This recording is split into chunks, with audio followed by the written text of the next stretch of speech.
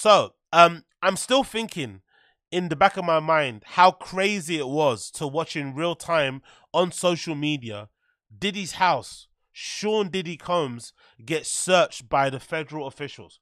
It was absolutely wild to watch it all transpire and play out online. Um, because obviously most of us have been following this case for you know whatever it may be, um, ever since the whole Cassie thing happened but it's been pretty wild, especially someone like myself. Uh, I would say uh, a fan of hip hop to watch all of this stuff flipping play out in real time has been flipping wild to watch. Wild, wild, wild, wild. So let's watch. Let's quickly um read this article courtesy of NBC that kind of breaks down the kind of latest kind of going on and what happened in the last couple of days and stuff. It says Sean Diddy Combs is a subject of federal investigation amid a wave of lawsuits that have been filed against a music mogul since November. A source familiar with the matter told NBC News on Monday. Three women and a man have been interviewed by federal officials in Manhattan in relation to allegations of sex trafficking, sexual assault, and solicitation and distribution of illegal narcotics, firearms, and the source said interviews with three other subjects have already been scheduled. Four law enforcement officials told NBC News that federal agents with Homeland Security investigations on Monday executed a search warrant at Los Angeles and Miami properties along belonging to Combs. The sources says the warrant is out on the South District um, of New York. And obviously, there you see a picture of all the police officers there going to Diddy's home and seizing what looks like to be laptops and hard drives. Louis Malarkey. HSI confirmed in a statement that it executed the law enforcement actions in New York as part of an ongoing investigation along with the teams in Los Angeles and Miami.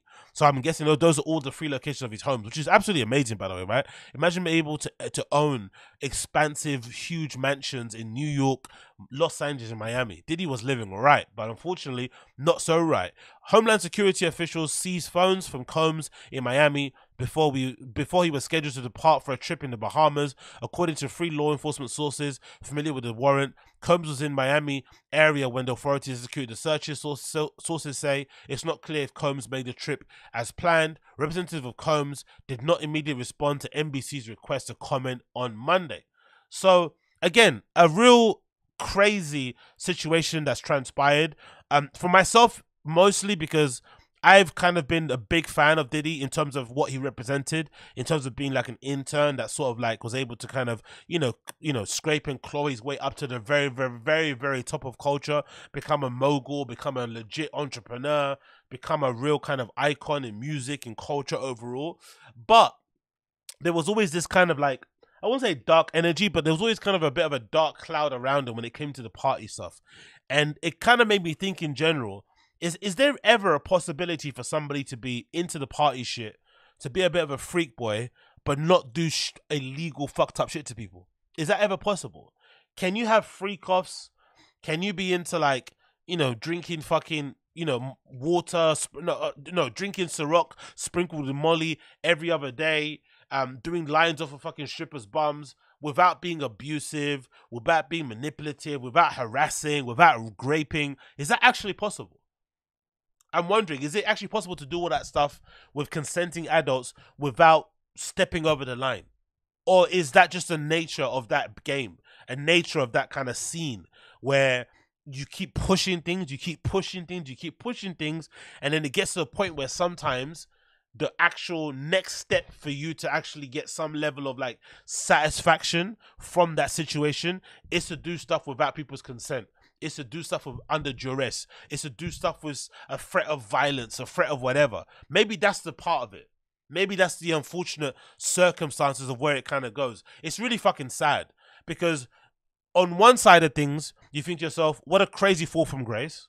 But on the other side of things, you think to yourself, think of all the victims who have been silenced all these years because of how incredibly powerful, rich, influential, um, you know, Diddy is as a person and what he represents and who he's associated with and who he knows and the contacts and the this and the that and his history as well. His history of being an actual legit gangster. If you know, you know. If you know, you fucking know. Diddy is with the shits. Diddy is not a, a guy to be played with, right? So all those things in mind can you think of the amount of victims that have been silenced, that have been kind of scared into silence, that have been intimidated, that have lived in fear, for their lives legitimately all this time just because they went to a fucking party and they went to get a bit freaky and then they got obviously a bit crazy.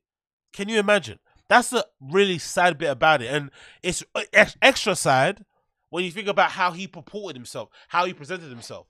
It's not like Diddy was like a sinister guy in public. Maybe towards the end, he did have that sinister kind of image, especially when you think about the Halloween outfits and shit, right? Batman, the fucking Joker shit that he did where he was really in character and he kind of looked a little bit tapped. There's even a video I remember of him doing it and walking in the street and um, he happens to bump into fucking uh, Tyler the Creator who's in like a pickup truck and he's kind of looking at him smiling, but he's also looking at him a little bit concerned, like, rah, man, this guy is fucking tapped. You see Tyler Creator looking at him like, fucking hell, man, this guy's not all there. so clearly, you know, towards the end, he might he, he he may have been living his raps a bit too much, right? He might have been, you know, really kind of doing a whole lot of method acting there. But the really horrible, dark shit about this is that towards the end, Diddy was trying to purport to be this like love guy. He even changed his name to Love. He was trying to talk about being like a guy that brought people together, a lot of Black Lives Matter stuff. That's why he ended up suing Diageo which is another interesting theory. There's a theory out there. I don't know if you guys believe this. There's a theory that exists that allegedly this is a consequence of Diddy trying to come against the real, you know, power makers out there. When he tried to sue Diageo, the owners of Ciroc and other kind of, you know, liquor and kind of alcohol companies, and allegedly he was trying to sue them for um, some sort of racial discrimination thing. And the lawsuit was obviously, you know, going to be in the millions, if not in the billions, if he ended up kind of um, winning that lawsuit. But because of all the sexual allegations and harassments and the rapes, and obviously the lawsuit from Cassie, that lawsuit ended up kind of going away. Um, and but be, because you put the lawsuit through, people are alleging the conspiracy theory is the powers that be kind of wanted to remind him of his position and put him back in his place and kind of push through that whole Cassie shit. That's the assumption, or that's the situ- that's the that's the allegation that's kind of out there at the moment, which I'm not really sure if it's true. But regardless, absolutely wild to kind of witness this in real time. Such a powerful, influential figure being brought down like this, but also lets you question as you think about all the stuff that was going on that people weren't talking about. And you have to think about the silence too. The silence from the hip hop community has been deafening from some of the big major figures who are usually always very vocal about talking out about societal issues, who are very vocal about talking out about harassers and abusers and grapers and shit. The silence from these guys has been deafening. No one wants to touch this with a 10 foot barge pole. They're all avoiding it which makes sense when you think about you know his obviously um, his reputation and shit um, when it comes to, to, business when it comes to violence and shit where people are legitimately still scared that he can put a hit on them.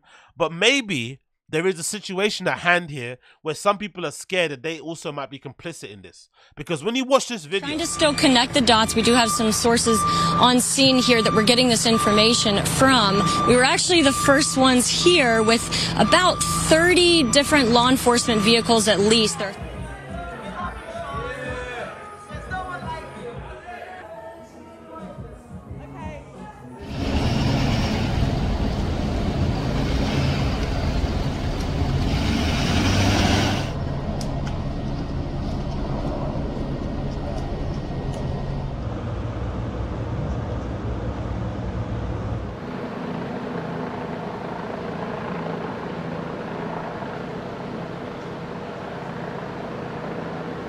the type of area that you would assume a lot of people would be fans of kind of hanging out if they ever did go there and party. So clearly, I reckon a lot of people are keeping quiet about the situation because unfortunately they are complicit in this. And they don't want to talk about this because a lot of people went to those parties because Diddy has a very, very nice assortment of properties in Los Angeles, in Miami, in New York that are perfect. The perfect places to go and flipping, you know, party and have a good time and have a quote unquote freak off at. So this might explain a lot of the reason why a lot of people in hip hop community have been oddly quiet when it comes to this situation. Because I can't remember a situation like this where people were so quiet and didn't want to speak about it, didn't want to lend their opinion, were kind of keeping, you know, keeping their counsel, keeping quiet, doing the whole like let the facts kind of say what they facts say, blah blah blah blah blah. It's been kind of wild to see. I'm not gonna lie, it's been absolutely wild to see this stuff play out in real time, and um, I'm curious to see what ends up transpiring because we still haven't got a real idea on what the charges are. Um, the only other sad thing about this is obviously did Diddy's kids were the ones that are getting put in cuffs when all this shit was happening, right? So Diddy's out here um traveling around the world, allegedly in Antigua, trying to avoid the fucking feds, and then these kids are the ones that are getting fucking put in cuffs. That's pretty kind of crazy, right? And obviously, you know, it's I'm assuming it's precaution because they're executing a warrant, um, and obviously searching the properties and don't want anyone to kind of disturb their searches. So it makes a lot of sense in that regard. But the fact that he was able to jet just before the feds arrived is also maybe proof, if ever you needed it, that Diddy is connected. He might have got a little kind of insight from some of the people um, behind the scenes about what was going on and when that warrant was going to get executed, and he decided to kind of dip as soon as they flip in arrive, which is nuts in itself if you think about it. It's nuts in itself that Diddy has those type of connections where he has the feds on speed dial or some connection to the feds so they're able to send him a text and give him a bit of a heads up or maybe a lawyer again allegedly and let him know hey they're coming to get you he jumps in his flipping black private jet and obviously zips off. From what I'm led to believe as well, people were tracking his private jet. I think last time they tracked it, it was in Antigua.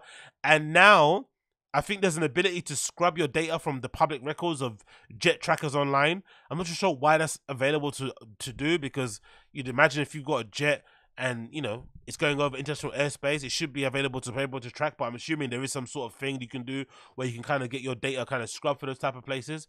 But regardless crazy situation. Um really sad to see. But like i said before considering how um open and expansive and amazing his properties were to look at from the bird's eye view some of these helicopter shots you would imagine a lot of people were at these fucking a lot of people at these parties, a lot of people that we kind of all know and love, celebrities, entertainers, artists, were all fucking there. And the fact that they, you know, were maybe all took part in it and all don't want to kind of speak on it, allegedly speaks to a lot of the dark shit that happens in the industry. But maybe again, this should be a reckoning for all people, and we might reach this conclusion, conclusion a situation where maybe we'll start limiting some of these abusers and the shit that they do um in obviously some of these parties because people will be a bit scared about make you know not wanting to be the next person that kind of gets scummed in these type of situations um the other thing that i saw online that was fucking wild um big up milagro mob's world um, she posted an alleged document here that was shared that allegedly is a standard NDA from Diddy. This is a standard NDA um, that Diddy allegedly gives to people when they come to his, I guess, apartment or maybe his parties or freak offs. I'm not really too sure. I'm gonna read through it because this is pretty wild because I've never actually seen what an NDA is or what it actually looks like, but I'm assuming it's what we would assume it's going to be in terms of making sure that you don't record or speak about the things that you see here. But let's see actually what this NDA kind of sounds like. So this allegedly is Sean Puffy Combs's NDA, allegedly from see here, courtesy of Mob's World. So it says here the following. This confidentiality agreement is made ineffective, made and effective as of Friday, September the 9th, 2022, and on behalf of this person, the term you shall include you, your estate, each corporation, and other business in entity in which you have ownership and a beneficial interest, and any of the persons and the entities owned and controlled by you and such businesses, and all of your respective hires, um, um heirs, sorry. Sean Diddy Combs, aka Puff Daddy, artist, privacy is high valued, and all efforts will be made to maintain confidentiality with respect to information and other material of any kind concerning or related to directly and associated with the artist, um, except for the information or material publicly int- intentionally disclosed by the artist. You hereby irrevocably agree that A, you shall not at any time use or disclose directly or indirectly to anyone any of the following information any past, present, or future which concerns in any which relation to the artist, any past, any artist parties, ooh, here we go, freak offs, or business activities, entertainment activities, financial affairs, or personal life. And all such information shall be deemed confidential, private, secret, sensitive, and kept by you as confidentially described. Um, let's continue here. It also says artists' sole exclusive property shall not be disclosed, removed, sold, or disseminated, copied, or otherwise, or exploited by or behalf or written by you. This is very extensive, isn't it? Fucking hell. Basically, don't talk about me ever. Basically, that's it's what this this NDA says. Don't ever talk about me ever, right? This is a this is a fucking NDA NDA.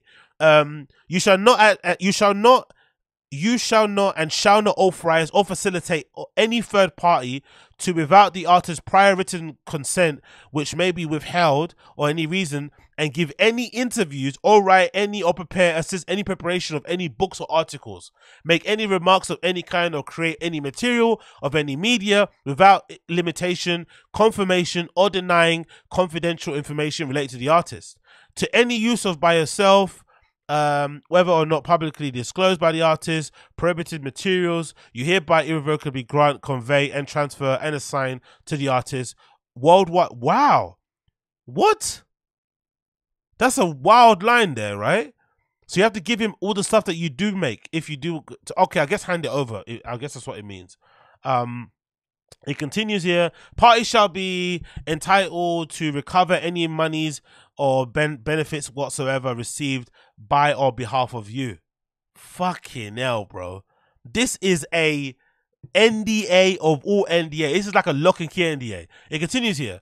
Um, the foregoing expressly includes, without limitation, communication appearing on the internet via blogging or social networking such as Facebook, Twitter, Instagram. Without limiting the foregoing, you shall not, without artist's prior written authorization, a tapes um, or any other recorded sound or image or any other materials of the artist and partners. Uh, B. Copy, excerpt, or otherwise use or dispose of any artist or artist party's materials, including any property or materials in your possession, um, including without limited and your legal representative and heirs and successors and, and assignees all shall promptly deliver possession of the artist in good condition. I love how they did mention TikTok, by the way. Interesting, right? No mention of TikTok. It says Facebook, Twitter, Instagram. So I wonder, can you break your NDA on TikTok? Is TikTok exempt because it's a Chinese-based company or something? Is that why? Maybe that's why, because it's Chinese-based. I'm not too sure, but TikTok isn't listed on there. But regardless, you cannot talk about Diddy in the slightest. He's got a fucking rock-solid team of people who say, "Don't talk about me. Shut the fuck up. Keep your mouth absolutely stum." Another quick update here, courtesy of the Diddy stuff. We've got here um, a Diddy lawyer saying the following. Um, the rap mogul lawyer says the he's facing an unprecedented ambush. Let's quickly read this courtesy of New York Times. A lawyer for Sean Combs, the hip hop mogul, whose homes were raided by federal agents on Monday, called the searches a gross overuse of military level force. Hmm, that's true. That is a good point because what actually came from those searches? No charges so far. There's no warrant out for his arrest, even though he wasn't there. Um, you know, what did they really do?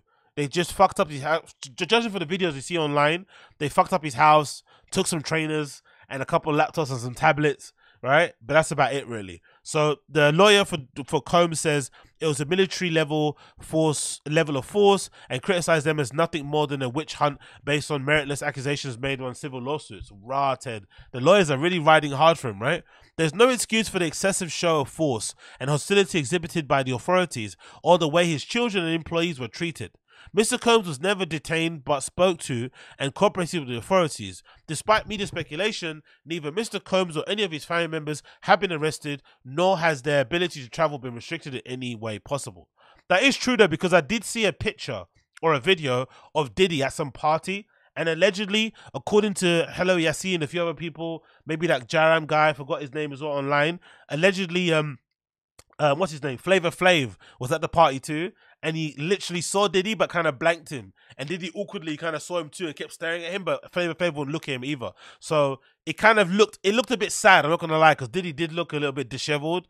Um he looked kind of like lonely, he looked very paranoid, he kept checking his shoulders every time. So maybe Diddy had cooperated with the feds, cool, behind closed scenes or kind of closed doors, but he hasn't been living a free life. He's still been probably living with the looming threat of the feds being able to pick him up anytime. So maybe that's the case. But that video specifically for me was more so um, an ind- indication of how far he starts falling when it comes to the industry. And it kind of reminded me a lot of like, do you remember at work when like somebody gets fired or somebody's about to get fired and you know they are?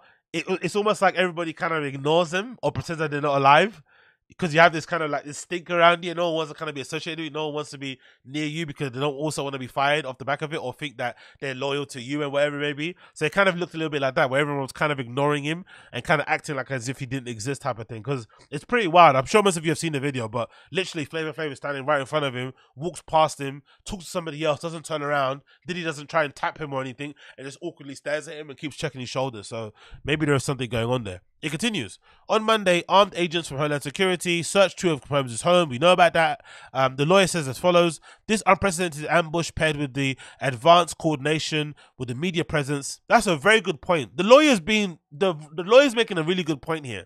It did feel a bit like an ambush. Nothing of merit really came from it. No charges or of anything. And the media coverage was crazy. It was wall to wall. TMZ got uh, pictures of the videos and pictures of Diddy of the house being raided. They also got videos of the inside of it from the fucking um, body cams and shit. It was pretty wild how the media were in lockstep and arm with it. But to be fair, it wasn't LA. Um, TMZ is basically the unofficial, you know, spokespeople of fucking, you know, the LA police officers over there. Oh shit, Coiler, sorry about that. I didn't hear you. My headphone, my earphone was out. Um, bro, that Flavor Flav thing is AI. It looks like GTA 5. Oh, really? I didn't know that. Big up Coiler. Thank you for the donation, brother. Um, I didn't really know if that, that is um uh, AI. If it is AI, fair, fair enough, but it looks fucking wild. It looks fucking wild to see fucking Flavor Flav, you know, giving Diddy the fucking cold shoulder. Anyway, it continues here. It says, and it's nothing more than a witch hunt based on meritless accusations made in a civil lawsuit. There's no finding of criminal or civil liability with any of these allegations. Mr. Combs is innocent and will continue to fight every single day to clear his name. On the same day as the uh, searches, federal agents also stopped Mr. Combs at an airport in Miami area as he was preparing to leave with his family members of Bahamas and took a number of electronic devices from Mr. Combs. According to a person with knowledge of the matter, Mr. Combs was not arrested, remained in the United States, according to that person. Oh, okay. So he's not on the run then. So this idea that he's on the run isn't true. His his electronics were taken from him. The police saw him at the airport and let him go. So it looks like they're building up a case. It looks like they're building up a case. They're leaving out so he doesn't do anything crazy and kind of going from there. It continues. The raid was striking development of Mr. Combs, who's been on the one of the highest profile figures in music industry for decades and credited with transforming hip hop and R&B in the 1990s. So clearly there is something going on in the background. We don't know what it is because that's how investigations fucking work. And I guess we have to kind of wait and see how it kind of plays out. But to see this guy's house get raided like considering after everything was going on, it's absolutely been wild, and I'm eager to see how it does actually end. I'm eager to see how it does actually end because damn, has it been wild? Damn, has it been wild? The other thing as well, which is really funny, is this article again, courtesy of Mob Radio. So big up Mob World, obviously on Twitter. This screenshot is fucking hilarious. So allegedly, Slim Thug has got into the conversation I'm not going to play the video, but the kind of caption it says as follows Slim Thug chimes in on the Diddy and slams the black community for wishing down his, on his downfall. And it says the quote, We're losing another billionaire over allegations. So this is another kind of thing that kind of t- seems to permeate the black, no, the African American black hip hop community. Is that for some reason they seem to always love to turn a blind eye at people's crimes when they have money if you have money and you have fame, everybody can turn a blind eye to you. They can excuse anything that you do just because you're a businessman, you're an entrepreneur, you're a mogul. It, it means that everything that you do, even when it comes to exploitation, is somewhat justified.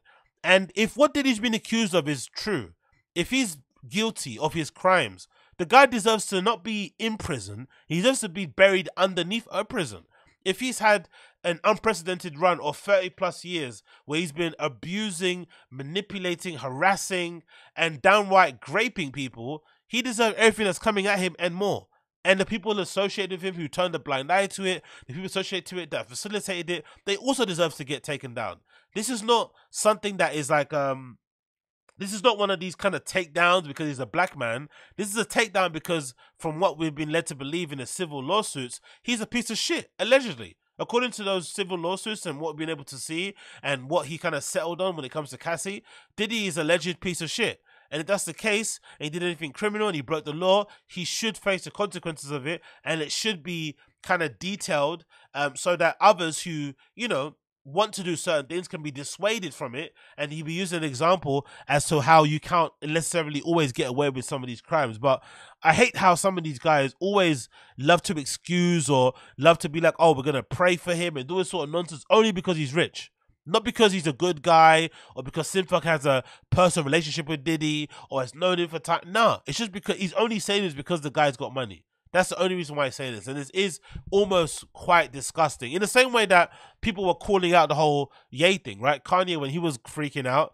people were calling that out and saying that, hey, you're taking advantage of the fact that you're influential, you got money, you're well loved and stuff, and just saying all this nonsense. But just because you've got money, status, and clout, all this malarkey, and you're famous, doesn't excuse you from being called out for your bullshit. And I think this is the same scenario. So I think Slim Thug needs to allow it and chill out, let the facts play out as it may. But just defending somebody based on their bank account is incredibly redacted. Incredibly redacted. If you're gonna if you're gonna defend them because you know them, that's one thing.